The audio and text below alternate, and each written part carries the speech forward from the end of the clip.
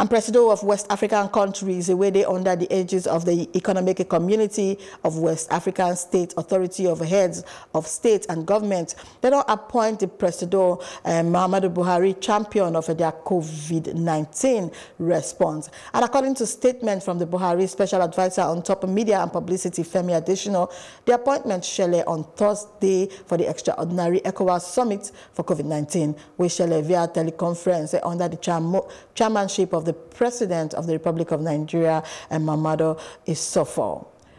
Republic of Niger, I beg your pardon. And during by the teleconference, eh, then say Buhari being called on fellow ECOWAS leaders to look far past the challenges and where they posed by the COVID-19 pandemic and to tap into opportunity where they show face for the betterment of lives inside the member states. Regarding public finances, revenues are declining drastically due to the fall in commodity prices. At the same time, government continues to spend massively on the containment of the virus. Medical care for those infected and minimizing the impact of the crisis on the poor and vulnerable. This situation puts severe pressure on our finances by increasing our expenditures and dwindling revenues.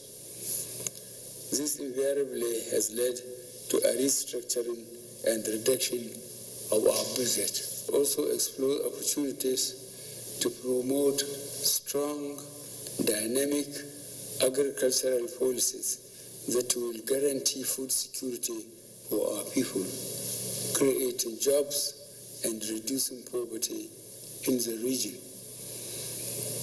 We must innovate and use technology to boost the digital economy and do things differently but better.